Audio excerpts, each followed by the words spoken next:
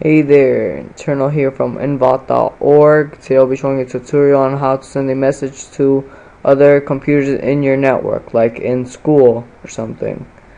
Uh, if you guys want to hack for the school, then this is what you do. You go to Notepad, alright. After you go to Notepad, you type in command.com. Then you go to File, Save As, command dot bat on your desktop. Click save and you'll find it on your desktop. So you just take this out click command and there you go. So after you got this on your desktop on your school you type in MSG uh, after you type in MSG you click type enter. And uh, then you type MSG again, space shift 8, which is that little star.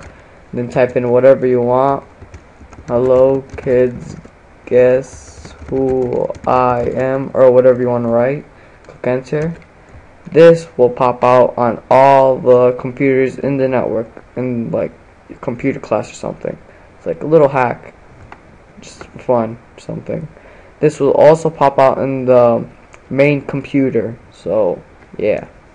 You don't want to get in trouble for that. Uh, so, yeah, that's it. Thanks for watching and have a good day.